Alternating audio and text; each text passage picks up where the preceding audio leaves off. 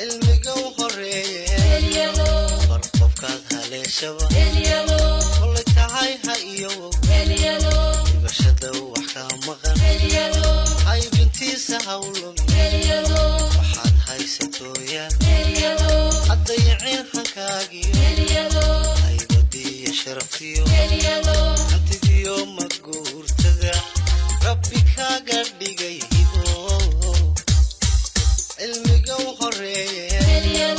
bar qofkaad haleeshaba kolay tahay ha iyowow dhibashada wax kaa maqan haybintiisa hawlumi waxaad haysatooyaan haddayaceen hankaagiyo haybadiiyo sharaftiyo hantidiyo maguurtada rabbi kaaga dhigay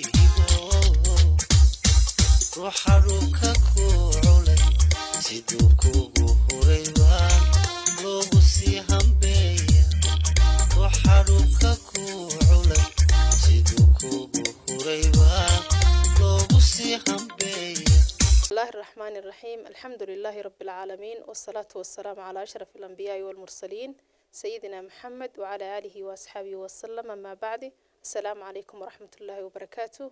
تاوضي الهلكني ومقباهية ستار تي في ويدين كايماني مغالا دهر وحين عاو فردنا متكم إذا برامج هذا كبحا مقباهيها وبرامج كي دور كاقون تيا قويهنك وحين عاونا سيدي عادة هيدا أنفلنقين دونا موضوع كم إذا لامها تعلينتا. Waxaa inoo martiya marka ugu horeysa aynu horta martida soo dhaweyno waxaa inoo martiya aqoon-yahan reer somalilanah runtii dhinacyo badanna nolosha bulshada kaga jira waxaanaynu eegi doonaa waxyas- wax soo saarkiisa aqooneed iyo waxqabadkiisa shakhsiga ahba daqiiqadaha soo socda aynu ka sheekaysan doonaa laakiin marka ugu horeysa aynu kusoo dhaweyno ustaad axmed kayse cali rooble ustaad kusoo dhawow guud ahaan muqbaahiyaha star t v iyo gaar ahaan barnaamijka doorka aqoonta iyo aqoon-yahanka bismillahi raxmaan raxiim khadra aad baa mahadsan tahay adiga iyo baxda star t v.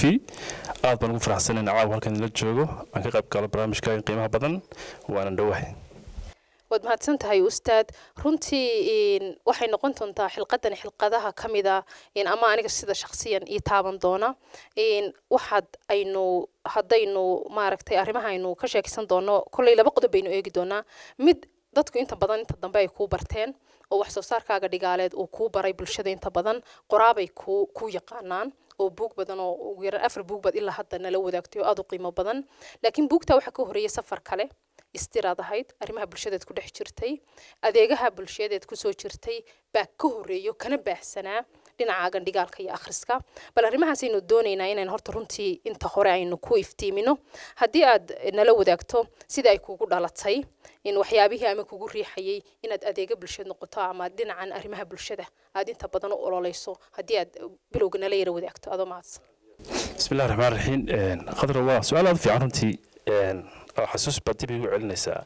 Hadda ku siman muddo sagaal iyo toban sano oon odhan karaa ama ha ku dhowaad waxay ahayd sagaashankii markii igu horreysay ee arrimaha bulshada aad ka dhawaajisay aan dhex galay. Runtii daadeydu aad bay yarayd cimri ahaan aqoon ahaanna maba meel sare ma gaadhsiin xataa dugsi sare maanan ka bixin oo maan dhammaynin waxay ahayd markaa wakti ay soo martay dabaysha i kicisay. Magaalada berberaan joogay waxaa iigu yimid xaafadian deganaa ama gurigaygii nimanan asxaab nahay oo runtii waxaan ku xidhnaa amaan raaci jiray dadka iyaga waaweyn oo aan saaxiib lahaa. Marka arrin markaa ka taagnayd magaalada berber oo carruurta agoomaha ah xaaladooda ku saabsanayd ayay runtii iila yimaadeen. Arrintii markaa igu dhalisay bal inaan wax ka ogaado qaybta bulshada ka mida ee dayacan ee carruurta ah runtii hore markii hore kuma baraarugsanayn waad og tahay qofku dee nolosha hareeraheena waxyaaba badan baa ka socda oo aada fara badan. Qof kastana waxa laga yaabaa inuu muraadi xidhan yahay markaasuu meel una hayhiso waxyaaba badan dhacada ka dhacayna ilaa lagu wargeliyo ama si kale aad ku ogaata mooyaane aanad ku baraarugaynin. Marka runtii berigaasay ahayd waqtigaasay ahayd waanan ku faraxsanay runtii inan baraaruga bulsho xilligaa igu dhacay oo nimankaasi ilaahay sabab iga dhigay oo tabliiqiinta waa taqaanaayo qof tashkiiliya kuwa kale oo kaxeeya. Marka waxaa laga yaabaa inaad kii adiga ku diray ee ku tashkiiliya aad uga dheeraysaba ama aad meeshii aad muddaba mataqaana aad kaga sii raagtaba. Marka runtii waqtigaasay ahayd dee markii aan dhex galayna waxaan arkun baahi bulsho oo aad iyo aad u qiimo badan in laga shaqeeyo ay tahay oo caruurtii oo mustaqbalkeenii waa dhinacyo badan bay ka dayacnaayeen. Hadday noqdaan agoon hadday noqdaan kuwii darbi jiifka ahaa iyo xataa kuwa kale markii dambe daan hawshiisii dhex galay dee guryahaba le hooye dhasha ama aabba dhale waalid leh haddana siyaabo kale u dayacan marka mashruuca xuquuqda carruurtan muddo dheer ka soo shaqaynayay kaasi markaa wuxuu ila sii galay haddana dee laamihii kale bulshada oo midba mid bay dhibaatooyinka ay ku sii xidhan tahay. Marka haddaan ku taataabto waxaan odhan karaa markii arrintan aan dhex galay waxaan is idhi carruurtan yaa dayacay waxaad gashay baadhitaan dheer oo dib baad ugu noqotay. Markaad aragtay duruufo badan. Badan. Waxaan is weydiiyey carruurtan yaa dayacay. Dee arkeeda su'aal kama tahay inay dayacan yihiin waa dhibaataysan yihiin yaa dayacay. Waxaan idhi marka waa waalidiintii ama ciddii haddii xataa aguma noqdaan ciddii ehelka u soo dhoweyd bulshadii ugu soo dhoweyd wax noocaasa kuwii markaa fiirfiiriyey kuma bararugsana maba oga maba dareensana waxaan dhahay iyaga laftooda la dayacay. Dadka waaweyn ee mas'uulka noqon lahaa yaa iyagana sii dayacay. Waxay noqotay maamul dowladeed in haddana sii gasho arrintii. Maamulkii dowladaha waqti dheer safarku iska dheeraa ayaan iyaga laftooda dhinaca ka fiirfiiriyey waxaan arkay inaan iyaga laftooda kuma baraarugsanaya arrimaha bulshada iyo dhibaatooyinka baaxadda la jira laga yaabaa inay hawlo ka adag markaa haddii hor yaalaanba ama si kale mataqaanaa looga looga arkay inaan hadda ahayn wax daruuriya arrimahaas in xoogga la saaro iyaga laftoodii markaan arkay baan iyaga laftooda ahaa dhallaan la soo dayacay. Kuwa waaweyn hataa mas'uuliyiinta ah. Leanna hadduu qofku isaga laftiisu barbaarin fiican soo heli lahaa xuquuqdiisa soo heli lahaa wax badan mataqaana loo soo qaban lahaa. Dee wuxuu ogaan lahaa in wixii kale loo baahan yahay. Marka isaga laftiisu qaabkan qofka maansuulka maanta ah ee xilka xilliyada ay hadda haya iyaba laftoodu feer iyo dhingad iyo dagaal iyo darbi jiifnimo iyo agoonnimo iyo xaalado qalafsan noocaasi ku soo koreen. Marka wuxuu arkaya wax iska caadiya runtii marka arrintii markan ilaa dee hal madax meel ka sarreyso taabtaa ma jirto. Marka ilaa halkaa gaadhay baan dib isaga soo noqdayo waxaa dhi iyaga laftooda kuwaas dayacan waqtiga ku luminayna bal in dee halkii hoose bal in wax la saxo laga bilaabo oo bal iminka dee laisla jaan qaado. Markaasay dhinacii qoraalka iyo kuula gashay. Bal hadda su'aal kalen laakiin halkaa hore kaa weydiinayaa ustaad markii aad waayaha ku jirtay weliba wakti hore oo adiguna aadda u yarid garaad ahaan iyo maskax ahaanba duruufo badanina markaa ay kaa hor yimaadeen. Oo da-daadana ka ballaadhan garashadaadana ka ballaadhan waxyaabihii ugu adkaasi odhan karto way kula kulmeen. Adiga shaksiyanna kuu kuu saameeyey ama ama dee maaragtay saameyn ku yeeshay noloshaada. Ilaa hadda aad isleedahay raadadkaasay kaaga tageen waxqabadkaad xilligaa halkaa ka soo bilowday maxaa ka mid a talo? Runtii maxaa la yidhaahdaa caqabada noloshu way leedahay oo dee saxka markaad guriga ka soo baxday ilaa caawa intaad hooyanaysaaba ugu yaraan dhagaxaad ku turunturata iyo wax la midi aad arkaysaa dee qof dhan oo u banbaxay inuu xalayo arrimo waaweyn oo ijtimaaci ama bulsheedna hadalkeeda badaa laakiin arrimahaasoo dhan si kastay u jiraan qofka mataqaanaa noocaygo kale ah. Dee ma noqonayaan wax ka hor istaagaya maahmaah baa jirta ore tidhaahda raha cida rahu libaaxu inuu ka cabo harta kama hor istaagto. Weligiiba ha dhawaaqo rahu libaaxuu ka cabaya kama baqayo marka wadna adeyga iyo kal jacaylka aanu hayo inaan bulshada xu taro ayaa isiinaysay mar walba shitaal iyo mataqaanaa inay ilowsiiso dhib kasta oo mataqaanaa markaa aan arkaya ama ila soo darsaysay ama aan la kulmay dabcan dhaqaal la'aan baa ka mid ahayd waxaa ka mid ahayd aqoon waxaa ka mid ahayd bulshadii yoon fahansanay waxaad ka shaqeynayso lagula yaabayo. Meel kale waxaa tegin gurigiina ay ka bilaabmaysaa. Waxaan xasuustaa hooyadayo oo dee hooyadaad garan kartaa laga yaaba aabuhu markuu kula yar hadlo ku dhahdo waxaa samee waxaa samee noloshaas qaabkaa u qaabee noloshaada markaad ka yar dhagaaleegto cabaara wax kale aad ku mashquulsho adigu waad jeceshahay. Laga yaaba kaa yar hadho isago cabar laakiin hooyada kaama hadhayso marka waxaan xasuustaa hooyada kaloo dhahaysay hooye waxaan dee malaba lagugu falay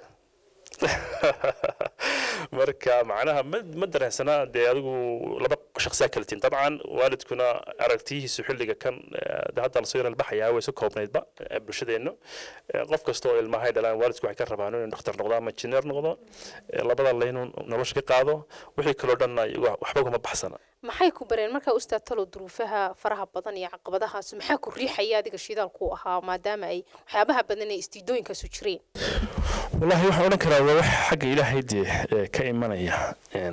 Maanta maalinka maanta waxaan kuu sheegi karo aan ku odhan karo ee, dee waxaa jira qofka in dirto oo shaqo loo dirto oo markaa shaqada laga yaabo inuu ka qaadanayo wax nafci nololeeda. Ee, ama mid laguba qasbayo oo sidii dee dhici jirtay shaqo qaran wax loo yaqaano kale dadka la gelin jiray iyo waxyaaba la mid a laakiin tanoo kale adaa isdiray adaa isma dirina ilaah baa ku diray ayaan odhan karaa. Marka waa waxa weeyaan xadiis nebigu caleyhi salatu salaam laga wariyo ayaa sheegayay oo lahaa een, kullu linsaan yusra lima khuliq. Haddii aan saxay lafdiga qof kastoo bin aadana wixii loo abuuray oo loo fududeeyey. Ha marka jidka nololeed ee ilaahay ugu talagalay qof kastoo bini aadana markuu nolosha ilaahay uu siinayey wuxuu ku talagalay door ka mida doorarka aadka u badan ee bulsheed inuu qaato marka anigu dadka waxaan nasiibka badan ee helay doorka noocaasa inay noqdaan adeega bulsho ayaan runtii waana waxaan aada ugu faraxsanahay. Ilaahay ugu mahad celinayo. Maxaa yeelay dee farxad badan baan ka helaa runtii. Ka shaqaynta arrimaha bulshada iyo xalinta arrimaha wixii aan qaban karayo inkastoo awooddeedu aanay aad ba u weyneyn. Haddana hal qofna ilaahay ha ugu hagaajiyey aad baan runtii ugu faraxsanahay noloshaadana saameyn bay ku yeelataa intaan soo qabtay iyo intaan qaban doono intaan noolahay haddii ilahay ka dhigo haddii ilahay ka dhigo aad baad mahadsantay ustaad waxaa kaloo jira in muddooyinkan dambe iyadana nolol kalaad gashay oo bulsho kalaad la dhaqantay adigoo runtii qofku inuu isgaranaya waa wax aada u qiimo badan inuu bulshadiisa garanaya waa wax aada u qiimo badan wuxuu garanaya waxa u yaala meeshuu u socdo waxay tahay inuu qabto adigoo bulshadaadii garanaya oo la soo kacaamay duruufteedii iyo waayaheedii tagtay walow aynan wadanka een, waxaad ku noolayd wadamada scandinavianka gaar ahaan sweden inagoon wadan ahaan isberber dhigayn oonay suuragal ba ahayn oo dee aynu aada u kala tagannahay In haddana bulsho waa bulsho un dhaqanna waa dhaqan nololna waa nolol waxqabadna waa waxqabad In bulshada dambe aad la kacantay waxyaabihii iyagana ugu weynaad sodhan karto waad ka baratay haddaad inoo taabato ka gadaal baad inoo eegi doonta waxyaabihii uga soo baratay bulshadaadane runtii waa su'aal aada u fiican Een, maxaa la idhahdaa dee wax badan baa laga baran karaa. Een, runtii markaad dee saad sheegaysana waa ka afrika kala dheeri dee dhanka horumarka inagu halkeenu hadda tallaabsan marayna iyo halka iyagu wadamadaasi gaadheen. Een, noloshuna dee dabcan cidba meel bay ka bilowdaa. Een, lafteenu gaabis ma nihin. Lafteenu gaabis ma nihin maxaa yeelay een, dowladnimadeennuba waxay abtirsanaysaa muddo gaadhaysa maxaa la dhahdaa nusqarni muddo nusqarniya iyo dowladnimadeennuba abtirsanaysa marka haddaynu dowladnimo iyo dad soo dhaqanaa kumanaan sano aan isbarbar dhigno runtii wax mataqaanaa aan de caqligu keenaynin. Een, ummadahaas de waxyaaba badan baa laga baran karaa waxaa laga baran karaa isku tashi iyo isku duubni bulsho dabcan waxaan waa process. Maxaa waxa weeyaan qaab nololeed oo bulshadu de soo marto oo laga soo gudbo oo inagu maanta heerkan joogno ee mm, dowladnimadeena iyo bulshadeenu iyagu mar hore soo dhaafeen mar hore oo aada horreysay. Nooca mataqaana qabiliga ah ee saasaas ahee caaqil ku talinaya ee hogaamiyo mataqaan kooxeed ku talinaya ee waxaas talinayaan de waa waqti la soo dhaafay marka heerkan hadda joogan haddaan dhahdo waxay maanta ka barano runtii waxay inoo dhexaynaya weli ee, wax inoo dhexaynaya yelkadeeda ee inaynu ku dadaalo isku tiirsanaanta iyo wada isku tashiga iyo isla shaqaynta iyo wax wada qabadka iyo ummadnimada iyo bulshanimadeena inaan isku dhisno oo laisla tallaabsado oo aan qofna laga tegin oo mataqaanaa qof kastoo inaga mid meel buu bulshada u buuxinaya ummadahaas ha yaraado ha weynaado dumar ha noqdo rag ha noqdo aqoon sare ha la yeesho mid yar ha la yeesho ha noqdo qof lixaadka wax uga dhimay mid kale qof kastoo bulshada ka mid a qiimihiisii bani'aadamtinimo uu leeyahay waana la ogsoon yahay waana laga qaybgelaya arrimaha nololeed ee bulsho ee dhan kastaba leh. Marka runtii dee dirac ahaantii waa kii dun carbeed lahaa cali sugulla allah u naxariistee dowlaal guusha kama helo dadkaa geesi lagu yahay.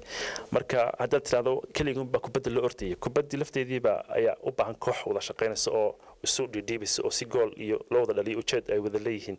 Marka runtii innaga halkeena waxaad moodaa uun inaynu taas aada uga baahannahay oo in laysu yimaado la watashado oo fikirkii la mideeyo xooggii la mideeyo oo me- la yidhahdo halkaynu u soconnaa laisweydiiyo tobanka sano soo socda soddonka sano soo socda halkaynu u soconnaa maxaa inoo ah muhiim? Sidee baynu ku gaadhaynaa dadka madaxda ah kuwa ka sii hooseeya kuwa ka sii hooseeya ilaa heer guri ilaa iyo heer mataqaanaa ummadeed.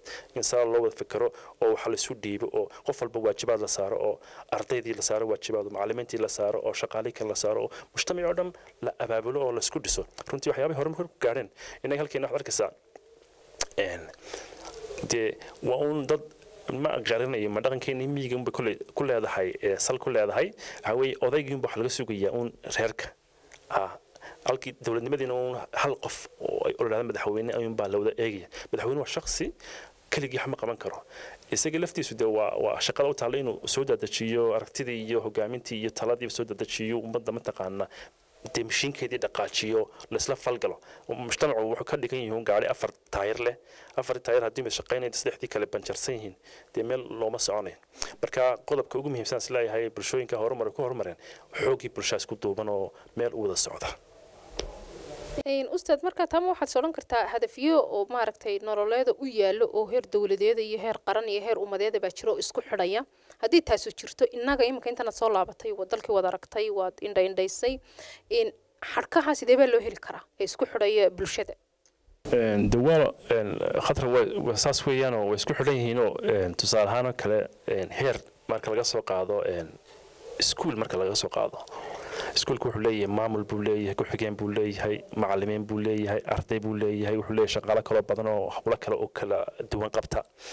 Iskuulkaa dhan si uu marka hadafkii loo igmaday iskuulku wuxuu loo igmaday inuu carruurta waxbaro tarbiyadeeyo meel keeno laga rabo heer soo gaadhsiiyo oo wax qoran baa loo dhiibo waxaasaa maamulo lagaa rabaa iskuulkaaga ama sisteemkii waxbarasha ee waddanka oo dhan manhajkiisii. Caruur waxaan u baahanay noocaas inay soo baxdo. Isagina kuwiin buu sii falgelinaya macalimiintiiba waajibaad ku sii qaybinaya macalimiintii ardaydiibay la shaqaynaysaa iyagiiba waxa loo diraya hawlihii.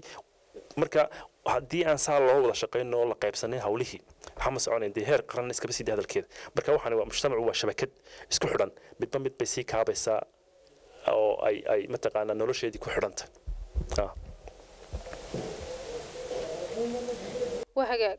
Ustaad haddii aad iminka intaynaan ka gudbin arrinta arrimaha bulshada iyo labada nololood aad soo noolaatay qodob ama laba aad is odhan karto uu ku taabt iminka intaanaad soo laabatood is odhan lahayd kuwaase ugu waaweyn oo yaarayd hadday iminka dadkaygu hirgelin lahaayeen. Aad iminka xasuusan karto waxaa la idhahdaa soomaalida hadal baa jira layidhahdo nin reer miya baa soo galay dukaan soo galay aad camiran. Marka intu saa u egeegay buu yidhi maxaa wax reerkayga u baahnaa yaalla. Marka hadda taasoo kala noqon karayaayo waxa weeyaan meel kastood egtaba way u baahantay wax laga qabta runtii khatra marka waxaan odhan lahaa un anigu bal aynu wada fadhiisanno.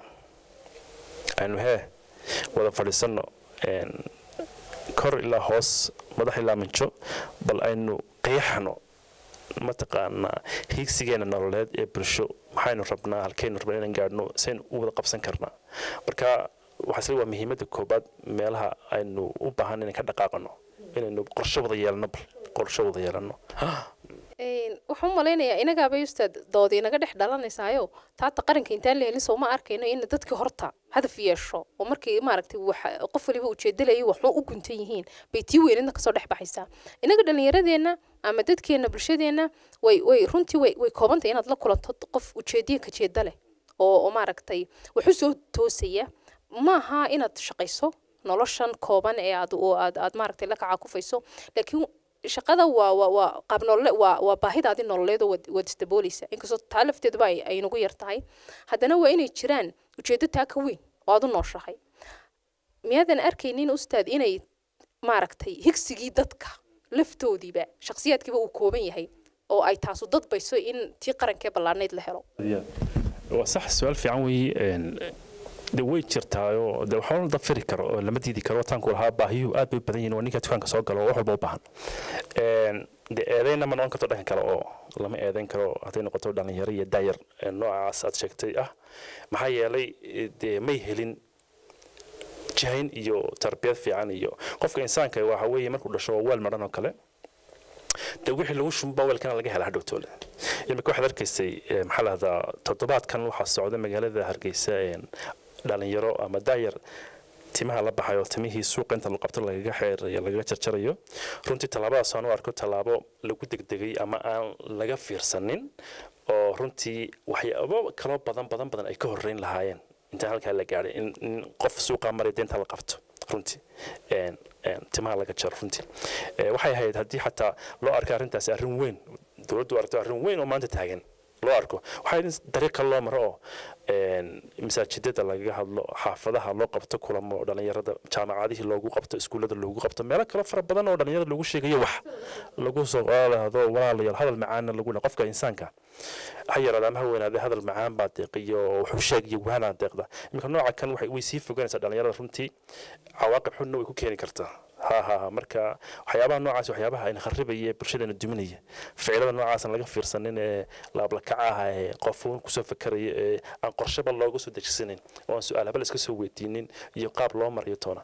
Marka runtii daayarta waddanku waa khayraad ilaahayna siiyey iyo iyo dadkuba dee in la tacab la geliyo dee qofku cidlo kama samaysmayo waa in tacab la geliyo loo fekero oo la geliyo aqoon iyo tarbiyad iyo dhaqan fiican lagu beero oo dee la yidhaahdo carruurta somalilan maxaan ka rabnaa inay noqdaan?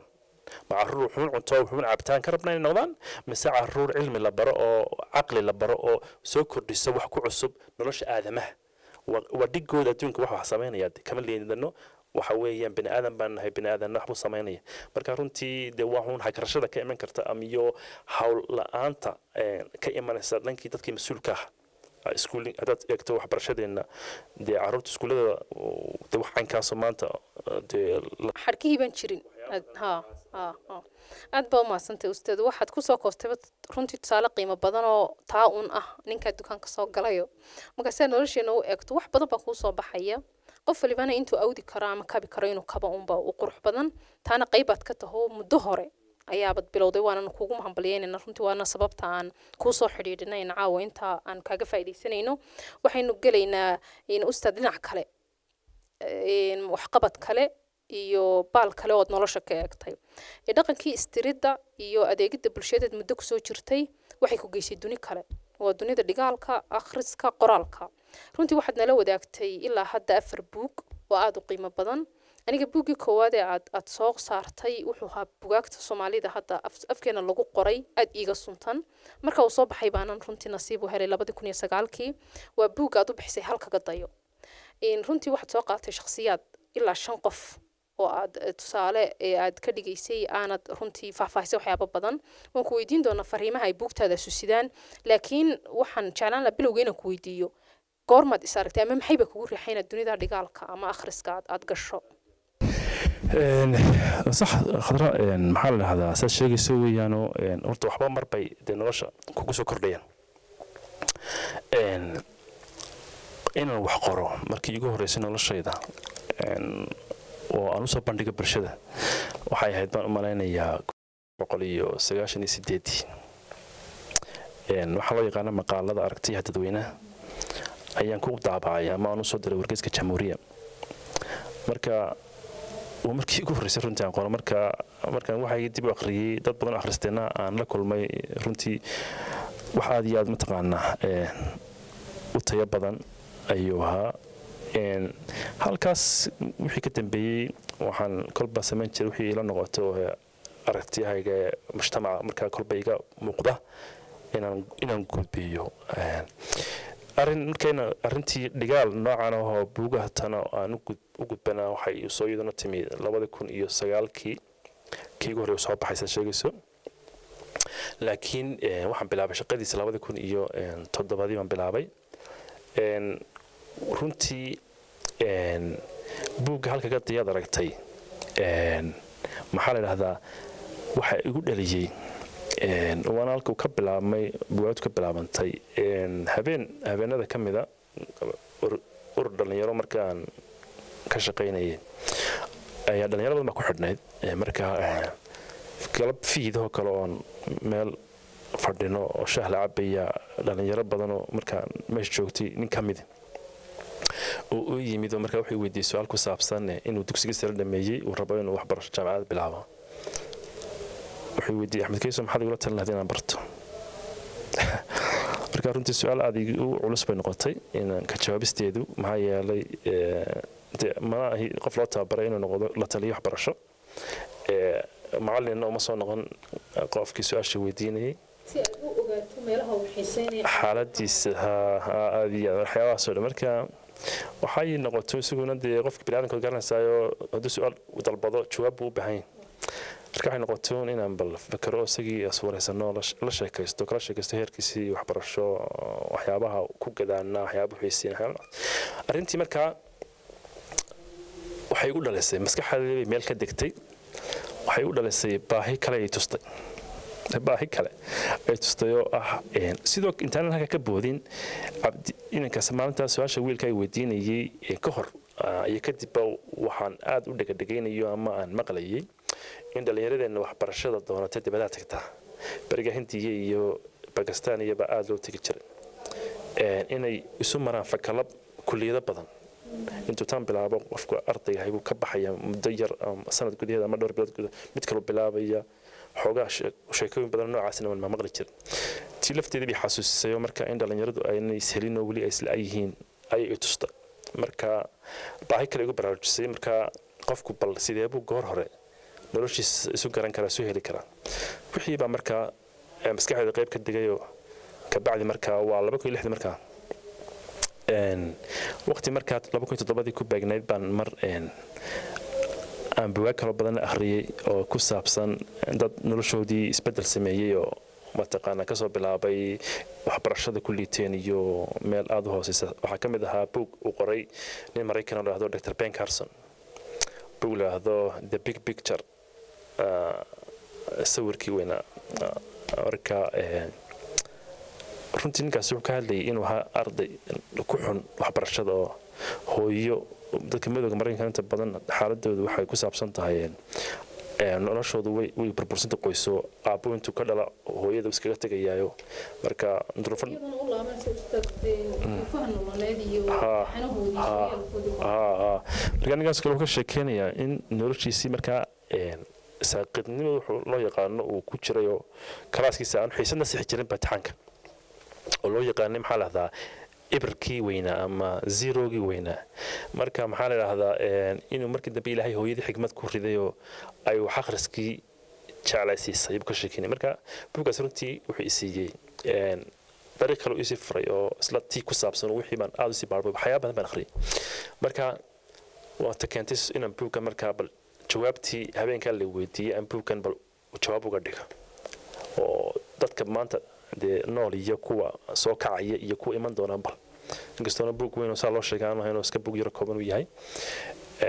Maxaa yeelay dee anigii qorayaaba dee qof asaas aqoon badan aan lahayn marka laakiin ugu yaraan bal inuu qofka in yaroo bal xubbi dhaamin karo cala alaqal ugu yaraan.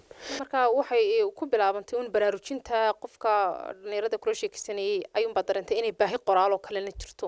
Laakiin akhrisku muu ku jiray markaa noloshaada ustaad waxaan leanna qofku qoraal nuxur lama samayn kara inta badan haddaanu wax badan akhriyin. Aada iyo aad ee, maxaa yeelay ee, dee qoraal akhris la'aan waxba lama samayn karo saad sheegayso Ee, se dhinaca kale marka laga eegana akhriskeenu uu iska yaraayo. Ee, wadankaba dee mataqaana maktabadana ma jirin laga qaato buugaag waxaan xasuustaa markii igu horreysay maktabadda gandhi ninaan saaxiib nahay oo lahdo xasan axmed yuunis ilaahay khayr badan ha siiyo ka sheegayaa caawa ayaa labadii kun iyo labadii anagoo fadhinaa baar cajab. Ayuu gal- goor galaba intaan ka soo baxnay salaadihii casarska halkaa lagu qaxweynayo ayuu yidhi ina mari waxaanu tegaynaa library gandhi. Markaa ma aqoonin anigu library gandhi wuu i geeyey marka waan arkay meeshii. Waan aad baan uga helay runtii buug baa taallay waa meel wax lagu akhrisanayo aada u fiican. Nin lahda cabdi nuuxoo hadda waddan maqan bahaynayay isna saaxiib noqonay Een, waxaan ku yidhi marka maxaa shuruud u ah inuu qofku buugta akhristo? Marka waxaa lagu inaad xubin ka noqoto oo sawir keento oo lagu sameeyo mataqaanaa haa aqoonsigii lacag yaro fiyo aan aada u badnayn aad bixiso. Intii oo dhan waan sameeyey. Marka maalinta laga bilaabo halkaasaan ku xidhnaa sidoo kale wixii buwaageeda mataqaanaa aan dadka laga xeli karay. Dee qof hayo la soo ammaanay la soo kala qaadanayo waxyaaba noocaas. Marka saasuu isaga bilbilaabmay akhriskaygu inkastoo dee aanu aadna dadka waxu akhriya ku sheegi karin anigu. Ma maya runtii waxay ka muuqataa qofka nuxurka qoraalkiisa. Anigu ustaad runtii aad baan kaaga mahadcelinaya weliba buugga gaar ahaan. Dad iyagaa dhalinyarada aad u qortay un baanan qayb ka ahaa. Buuggaagaas ilaa hadda waan xasuustaa. Wax badan buu naga bedelay weliba iminkaana si gaara kuugu sheegayaaye. Hal maalin baan laba jeer akhriyay maalintii ugu horreysay runtii taana wuxuu ahaa nuxurka oo aad dhadhansan xitaa qoraalku hadduu kooban yahay una adiga kula hadlaynin ama aadan wax badan ka dhadhansanaynin macna ma samaysa inaad dhamayso. Marka waxaan halkaa uga socdaa waxaa tiri weli uu yar yahay oo aan la sheegi karin. Laakiin nuxurku sidaa intaa ka weyn? Een, buugga buug kale ka dambeysay ustaad oo weliba aad ereyga qaadatay hal hal hal ha. Buuggii kale kuugu xigay. Waxaad soo saartay isagana waxaan filayaa. Haye hadaad inoo taabat isaguna hal aan ogaaday labada kun iyo labaiyo tobankiibu soo baxay daabacad ahaan. Ka hor laakiin shaqadiisa waxaan bilaabay sanad iyo badh ka hor. Isagana markii aan kaa dhameeyey qofka la hadlaya ayaan haddana ka fekeray qofkii haddiiba aan dhisno oo inoo soo baxo keligii nolosha kama noqonayo. Qofyaal kale u baahan yahay oo ay wada tashadaan isku tiirsadaan wax wada qabsadaan. Marka urur dee qof wixii ka badan ayaa urur bay isu bedelaya nolosha waana waxyaabaha asaasiga ah. Hooyi aabbu ka bilaabma qoys iyo caruurtoodii. Unugyada bulshada saasay u korayaan.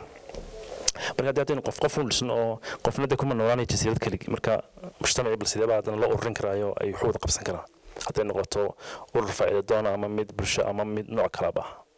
Marka waxaan isii bal ka faa'iidey khibraddaadii markaan buga bilaabayay toban sanaan dib u eegayay anigu markaan bilaabaan kuu sheegayay ee ururada urur arrimaha bulshada.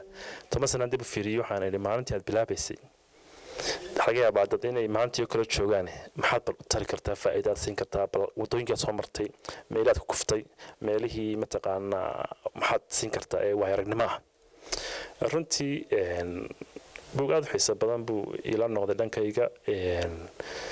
Waxaan xasuustaa markii anigu aan dhex gelay arrimaha bulshada midh kama aqoonin. Midh kamaan aqoonin. Dee dariiq dheer baan soo marayo waayo badan lahaayo. Aada u xiisa badnaa runtii. Marka kaasina wuxuu uu ku taxalluqayaa inaan dadka bal tuso in ururnimadu ay tahay wax fiican waxoogaa fahankeen la isku xidhnaa dadku saddex qof iyo afar qof shan iyo toban iyo boqolba wixii mataqaanaa dee dane ay wada yeelan karaan isaga yimaadaan. Runtii arrinta aad baan xoog u saaraya caawa oo waxaad moodaa weli aad uguma fahansanin oo weli waxaan u baahannahay in bal dib loogu noqdo oo in la ururiyo bulshadu runtii xoogaa khilaafaad badan baa ka dhaca marka halkaas in bulshadu bal dib lagu celiyo qaabkii tarbiyada haddana dib ugu noqonaysa qaabkii tarbiyada. Dhinaca kalena la fahmo qofku fahmo in isla taakulayn bay gacmatamar ku yeeshaan ama taladu waxay saaran tahay wax isu geygeyn. In isku xidhkan qiimuhu leeyahay la fahmo marka waxaad arkaysaa iminka ururo badan baa la dhisayaa aad u badan muddo badan masi jiri karayaan base odhanaysaa ama qaar ganacsiba ha noqdaan ama qaar bulshada ha noqdaan ama qaar aqoonida ha- waxyaabo kala duwan. Khilaafyaas ka dhacay wixii way ma sii soconayaan. Aniga in badan bana waan soo arkay welina way jiraan. Markaas odhanaysaa dib bay ugu noqonaysaa tarbiyadeenni iskuulkii bay dib ugu noqonaysaa gurigii bay dib ugu noqonaysaayo caruurteenna qof walba bileed baa wax loogu ridaa cuntada keligii. Marka isla shaqayntii aad bay yortaa marka in dadka laisbaro in isla shaqeeyaan oo mataqaanaa loo soonko iskuulkii laislama siiyo dhalinyarada mataqaanaa howlqabad koox kooxa looma wada diro haw looma wada si iswada shaqeynta loo baro. Qof walba keligii keligii. Marka haddii qof mataqaanaa muddo ku soo tarbiyadooba isagoo ku soo weynaaday adagtaa dhowtoole in la dumiyo oo la yidhahdo mee yara adag marka runtii waxyaabaha u baahanay in aadaynu hadda uga tashanno oo uga tallaabooyin uga qaadnay ka mid aad baa taasi umahadsantahay ustaad weli waxaa sii socda wax soo saarkaaga dhigaaleed hal hal e, ereygaa aad xulatayna waynu sii wadaynaa labadii kun iyo saddex iyo tobankii buug labaad baad qortay waxaad buug buuggii saddexaad baad qortay in hal ka qabso bal isagana hadda isu kaya dul taagto saa sheegtay halka qabso een, saa magacaaba ka muuqata wax badanoo lagu siiyey waa lagu yidhi halka qabso ama ka qaado Een, buuggaasi dad wad akhridee waa un fikiro toosineed tilmaamo bulsheed ayuu xambaarsan yahay. Marka een, markaan dee soo dhisnay qofkii aan ururkii soo dhisnay haddana fikrado badan oo khaldan oo bulshada dhex yaacaya. Ayaa iftiiman u baahan in la saxo la toosiyo Een, haddaad akhriday qodobka odhanaya tacliintu maaha shahaado iyo keliya oo la qaato iyo in lagu shaqo tago ayaa ka mid ah. Waxyaaba iminka faafay waxaa ka mid ah qofku "Waa, waxbaan soo bartay shahaado noocaasan haystaa waana shaqo helo. Shaqanimada waxaa ka horeysa horta waxbarashada in adig kaa hor- ka- dadnimadaad dhisto oo kaa dhigto qof bashar oo bani aadan oo aad iyo aad qiimo badan kaa dhigto. Oo xoolaa kaa duudo. Oo kaa duudo waxyaaba badan oo ceeb ku keenaya insaannimada kaa duudo. Adiga ku saamayso markaad dabatoor shaqana ma waaysid sharaf iyo in lagu sheegana ma waaysid marka waxyaaba badan oo artiyo badan oo ina dhex qaadayo oo noocaas maaha waxbarasho guri keliya maaha. Meel mataqaanaa mansab la qabtana maaha. Waxa weyn dadnimada dhista. Waa inay ku barto inaad u naxariisato qofka kaa yar ka kaawan inaad ixtiraamto bulshadaada wax geliso aad noqoto qof tusaale fiican u noqdo ummadiisa oo dib waxaanu soo bartay. Iyo aqoontii iyo leeskii ay siisay iftiimiya. Aan noqon tuug dhaca oo ka faa'iidaysta mataqaana faham iyo eh, mataqaana ogaan la'aantooda oo iyagii ku noqda markaa dulsaar iyo maxaa la dhahdaa gafane ka jaqiyo dhiig. Aad baad umahadsantahay halkaa waxaad xasuusisay ustaad waa magaca sababtaan barnaamijkaygan ugu dooranay doorka. Aqoonta aad leedahay haba koobnaatay hadday doontee waa inay doorkeeda noloshaada ka qaadato. Adiguna kolleyba aqoonyahan waa sifo. Sifada ay leedahay waxa aad ku suntamaysaa markaa intay doontaba ha gaadhee itaalkaaga ay ka howlgasho in bulshadaada. Bulshadaadana adigiibaaba kow ka ah oo adigibaa qayb ka ah marka markay aqoontii ay adiga noloshaadii ka falgasho shakhsiyadaadii ka muuqato waa hubaal inay ummadaadina dib ugu noqonayso waxaad noo iftiimisay halka uu xitaa magaca ama xulashada barnaamijka iyaga u daaran yahay aad baa umahadsantahay ustaad aynu sii soconno buugga afraad buuggaasuna runtii waa buug isaguna culayskiisa leh waxaad u bixisay hal ay garteen buuggaas wuxuu kol qof kastoo akhriya horta wuxuu helayaa fariin shaksina uu ka helayaa فرين قرن نو فرين قيس نو كهليا وما تبات كجهدش دلسن عضو بحس برشة دلسن. بالبوجا نوي ريفتي مرنتي وأنا ويقول يرعب سلامة كان خري فريم علس بوسي دي تفاصيل بدن باكو جرتا حتى قاب قباب كي هرك دوان بو هايو كأن ما يندهو ماك داوان ساما ما عرق تياد مو قالو كو صعدو بل نوي رتابو استاد بوغانا رمتي يساشك تي خطرة محل هذا مركز سوداف نيساد حدي هورا waxaad markaa haddana weli iisii muuqday qabyo kale oo mujtamacii wuu samaysan yahay haddana meel looma socdo. Bulshadii way dhisantay haddana meel looma socdo. Waxaa jirta sheeko ku qoran buugga oo dadkii isku hadleyn baa iska dhacdayoo Ee, cid baynu dooranayoo dowlad baynu dhisan.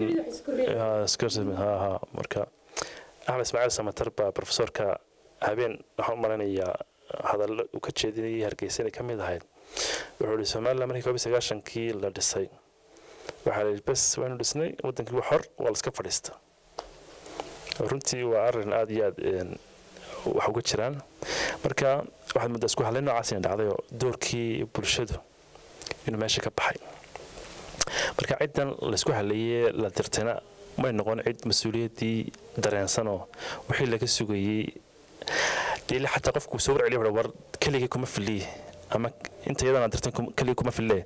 Nala qabto oo dadkii bay dib ugu soo celiyaan wax. Iyana way la dhuunteen wixii loo diray dadkiina way sugayaan waa laisu maqan yahay.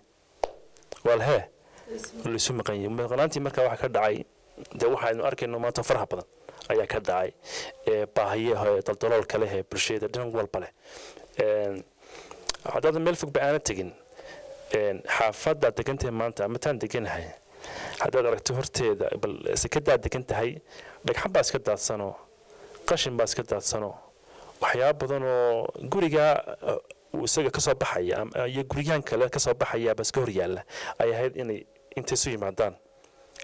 Gurigeena xaafadeena horteeda sidee baynu waddada yar maalin walba mareen ku dhacna ku kufno ee qashinku yaal sidaynu isaga hagaajin karnaa haddii intii dadkii aynu islahayn wayna ka qaadaya ama ay ahayd inay sameeyaan haddii ka mashq ay garanba waayeen inagu maxaynu qaadan kara doorkii nooce marka wuxuu ka hadlayaa bulsho noocaasoo kale inta ku nooshahay markii dambe ilaahay ku soo celiyey miirkii iyo garaadkii oo fadhiisatay heer heer fadhiisatay.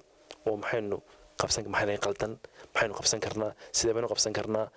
Ku dhaqaaqday wax noocaas. Halay garteen marka buuggaasina saasuu ka hadlay. Marka buug saadaalina oo bulshada le reer darsan dad leelaa saa sameeyey ahaan jireen markii hore noocaas markii dambena guulaystay dee idinkuna kama liidataan تصالحنا ووح عادو قيمة بدنا وسد بلو جوحد قصة وصوقي حضي نما هذا نحكي إنه أمد وح نقطة هاي. لكن تجيب كودي لبعد تدودي ترفو دي بعد بلو قصة قصة قصة طابتي.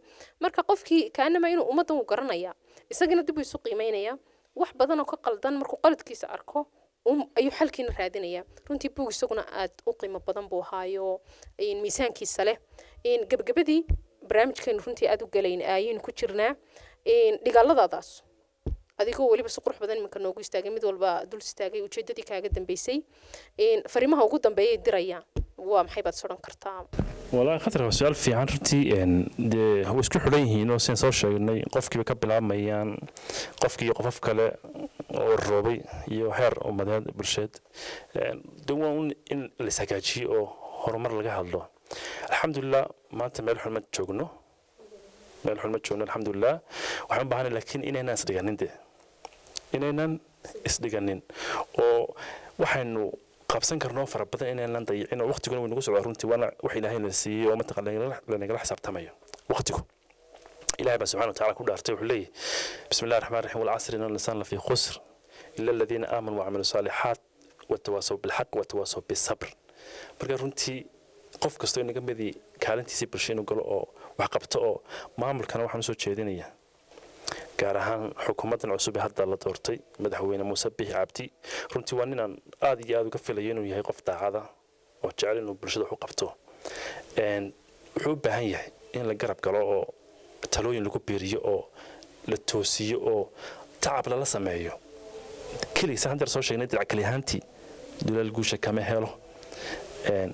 Madaxweyne waa hal qof mujtamac intaa leegee bari iyo galbeed iyo koonfur iyo waqooyi ku noole intaa ilaahay dhigay buu mas'uul ka yahay. Ee baahiyahoodu badan yihiin. Haddaynu intaynu fadhiisano un isaguun eegno faallayno un ficilku qaado oo waxba la qaban weyno ama dacayda ku furno ama aynu mataqaanaa si dhan khaldan u jeedino runtii dee waxba inaga inaga khasaaraya waqtigu maaha maaha isaga ma khasaarayaan waa hal qof buu ka yahay mujtamacina waxaad moodaa maanta in baraarugaas noocaasi naga xumaadayoo dowladnimadiiba loo arko wax qof leeyahay. Waxaa loo hebel baa qabsaday hebel ayaa qabsaday. Dee hadduu hebel qabsaday waa adiga qofku shaqaynaya oo dantaadii iyo umadnimadaadii iyo horumarkaa ka shaqaynaya aan lala shaqayno. Marka runtii madaxweynaha xukuumaddiisan cusub hadda waa aad iyo aad baad ummaddu shacabku rajo badan uga qabaan. Rajadaas lafteedu waxay noqon kartaa way khaldami kartaa haddii mataqaanaa aan jawaabaha bulshadu eh, iyo filashooyinka aan laga jawaabin. Taasina waxay ku xirantay innaga dhinaceeni in la shaqeyno oo qof kasta wax qaban kara. Waxaan dareemi karayaa anigu xukuumadaha somalilan in badan baan soo dhex joogay xilma ka qaban inkastoo aan mar aan jeclaa aan jeclaa haddana ilaahay muqadirin inuu noqdo qof dhankaa uga shaqeeya bulshada. Waxaad arkaysaa markaa in dad yaroo mataqaanaa ay inta badan madaxda ku mashquulaan la mashquuliya madaxda oo dad yare oo dana leh ay isku xeeraan oo ummadii darbi iyo madaxdii u kala xidhaan oo been loo sheego maalin walba lagu hasaawiyo ha wax walba waa maasha allah wax walba waa maasha allah wax walba maasha allah oo baahihii iyo dareenkii bulshada rasmiga ahaa laga qariyo. Qofku madaxweynaha ama wasiirka waa hal qof dee kun indhood iyo kun dhagood ma laha laakiin waxaa intaa ka caawin kara waa dadkii kale ee la shaqaynayay ee ku xidhnaa aad iyo aad iyo aad aad iyo aad aad baa umahadsantahay runtii xog- xogtaad kale aad nala wanaagtayna waa waa shay xaqiiqo oo waa inuu haddii madaxda lagu xeeran yahay baahidii ma ogaanayaan. Laakiin sida aad carabowdayba madaxweynaha cusub ee imika la doortay runtii waxyaabaha uu kaga duwan yahay madaxweynayaashii kale hore amaan odhan karo xataa intii imika la tartamaysay mas'uuliyiintii mudanayaashii la tartamayay inuu yahay qof xogogaala oo maanta aan dadkiisa iyo dalkiisa toono looga waramayno ku soo dhex noolaa wax badan baanaynu runtii ka filaynaa xukuumadda cusub. Waxaan xasuustay ustaad fariin kaleo waxaa laga yaabaa inay dad dhalinyare ku daawan doonaan hadeer kugu bartay waayahaagan dambe iyo wax soo saarkaagan dhigaaleed midh iyo laba haddii aad fariin uga gaadhsiin karto qofka dhalinyarada ee maanta ustaad ama qoraaga axmed kiise cali rooble qoraa ahaan uu joogo. Iyaguna jecelun dhinaca qoraalka ama inay xagga qalinka wax ka eegaan. Wallaahi maasha allah maanta waxaanu leenahay mujtamac badan ama dad fara badan oo oo dhanka inugu jira runtii. Dee waxa weeyaan in la kobco halkaa laga sii mataqaan horumaraa muhiima waxyaabaha la qorayo in la akhriyaa muhiima in mataqaana fikirka la ballaariyaa muhiima in la isku xidhnaado xogta la wadaagaa muhiima in madala laysugu yimaado oo afkaaraha la wadaagaa muhiima in mataqaanaa dee mujtamacu noqdo mujtamac dee isku xidhan oo wax kala qaata. Qofba qofba macallin u sii noqonaya dhalinyarada hadda joogta aad bay dadaalayaan. Han badan baa ku jira himilooyin badan baa ku jira runtii. Waxyaaba badan oo kale oo baahiyana way qabaan oo ay ahayd in la gofeeyo laga jawaabo. Oo runtii dee dadka ka waaweyn iyo maamulkuba ay mas'uuliyad ka saaran tahay. Runtii waan hambalyeynayaa dee halasoo hala wada hawsha inagamana dhowaa. Halla wada hawsha inagamana dhowa waa laba laba eray oo miisaankooda leh fariinta ugu dambaysa ustaad aad u dirayso bulshada ama dhalinyarada marka aad labada nololaha noloshaadii aad dib ugu noqoto tiimka reer galbeedka aad la soo noolayd hadda dalka waayaha aad kala kulantay waxaaba intaaba markaad isku celceliso. Fariinta ugu dambaysa ama talada aad siinayso daawadayaasha iyo bulshada. Ha anaaba ugu horeeyo ka hor fadhiye. Waxa weeyaan maxaa la khatray hal baan odhan lahaa on keliya waxa weeyaan yaynaan noqonin